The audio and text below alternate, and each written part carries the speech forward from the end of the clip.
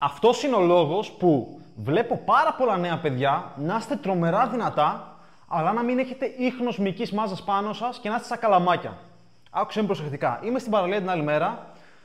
Όπως πάντα έρχονται νέα παιδιά με γνωρίζουν. Γνώρισα τον Μάρκο, ένα παιδί. Έρχεται, μου λέει Μπουμ Τσιαλίκης, κλασικά εντάξει. Ε, είναι χαρακτηριστικό, σας έχει μείνει αυτό, σας αρέσει. Αλλά μου λέει είσαι ωραίος, είσαι κομματιασμένος, είσαι τερματισμένος. Μου λέει έχεις πολύ ωραίο στήθος. Έχεις καλό στήθος. Μου το είπε δύο-τρεις φορές ενώ συζητούσαμε για κανένα πεντάλεπτο. Και που λέτε, μου λέει πόσα κάνεις μέγιστη. Μέγιστη δύναμη στον πάγκο. Πάγκος. Με μπάρα. Στήθος. Του λέω έχω μέγιστο 125 κιλά. Αυτό είναι το μέγιστό μου.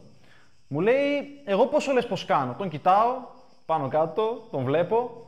Λέω, ε, κάνεις τι του είπα, του είπα 70, 75, κάπου εκεί πέρα του είπα. Μου λέει κάνω 100. Δεν ξέρω τώρα αν όντως κάνει 100, έτσι μου είπε. Και λέω δεν ξέρω γιατί τον εμπιστεύομαι, αλλά δεν ξέρω αν τα κάνει μάλιστα τεχνική, τέλειο ευρωσκίνηση, σωστά 100. Τέλος πάντων, ας πει υποθέσουμε πώς τα κάνει.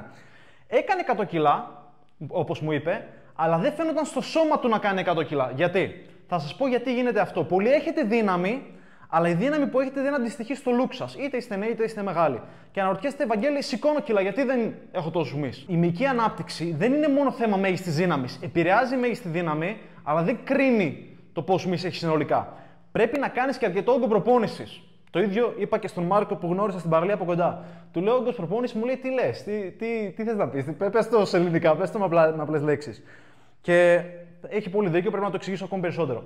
Ο όγκος προπόνησης είναι τα σετ επί τα κιλά επί της επαναλήψης. Δηλαδή, άμα κάνω ένα σετ μέγιστο, ναι, έχω κάποια δύναμη για 100 κιλά, είναι πολύ μικρός όγκος προπόνησης. Είναι 100 κιλά, δεν λέει τίποτα. Δεν χτίζεις έτσι μης. Για να χτίσει μης, έχει μεγαλύτερο όγκο προπόνησης. Δηλαδή, αρκετά σετ, αρκετές επαναλήψεις με αρκετή επιβάρυνση. Τώρα, δεν μπορείς να κάνεις πάρα πολλά σετ στα 100 κιλά στο μέγιστό σου. Οπότε δεν δουλεύεις εκεί πέρα, δουλεύεις σε χαμηλότερα φορτία από το μέγιστό σου. Υπομέγιστα που πάλι βαριά είναι, απλά είναι λιγότερο το φορτίο από τα 100 που είναι το μέγιστό σου, για παράδειγμα. Δηλαδή, αν ήμουν κάποιος που έκανα 100 κιλά πάγκο, δεν θα έκανα πάλευα, γιατί μετά από λίγο θα έκανα και ποιότητα, θα ήταν κακές οι επαναλήψεις. Όχι. Θα δούλευα στα 60, στα 70, στα 75, άντε 80, 5 με 10, 5 με 8, για 3 σετ. Ήδη σε επαναλήψεις σε κάτι σετ, καλό διάλειμμα. Έτσι χτίζεις μη, μαζεύοντας αρκετό όγκο προπόνηση.